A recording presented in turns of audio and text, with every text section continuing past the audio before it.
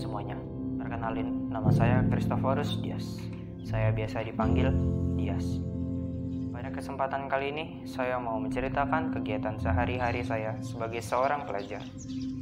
Kegiatan saya dimulai ketika saya bangun tidur, mulai dari beresin selimut, lalu ke kamar mandi untuk sekedar gosok gigi atau cuci muka.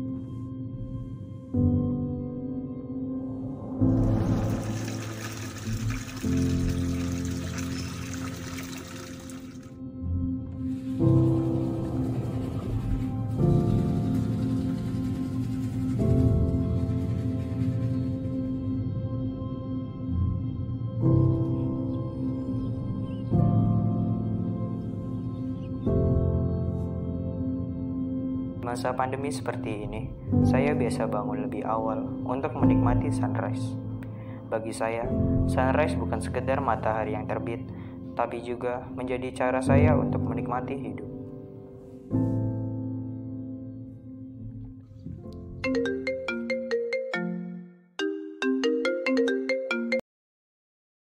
Halo, halo bro. Nanti jadi main kan di rumah lo? Jadi dong, Ya udah, nanti gua ke sana ya. Oke, nanti gue tunggu di rumah ya.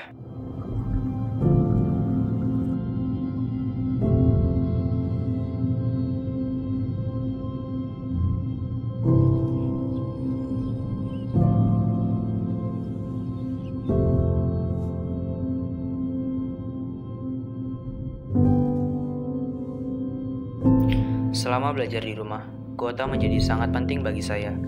Karena setiap hari saya harus mengikuti Zoom, Zoom, dan Zoom. Kalau saya bosan, biasanya saya membuka Instagram dan juga YouTube.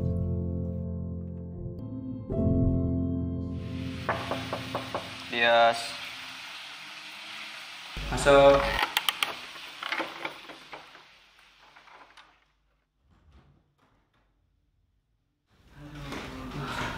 Woi bro, kabar? Kabar bro? Iya, ada Baik dong. Kabar ya? Oh iya, gue login dulu ya. Oke. Oke. Gue.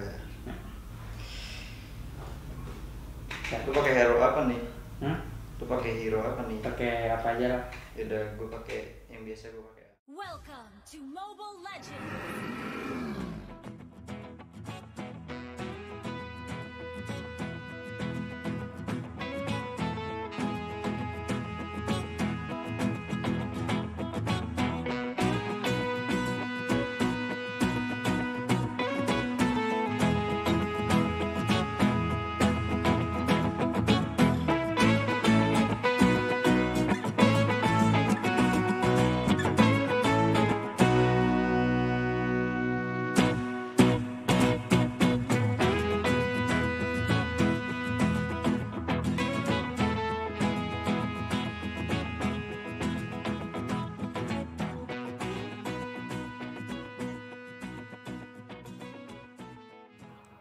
Wah, ngelak bro. Kuota gua habis nih kayaknya.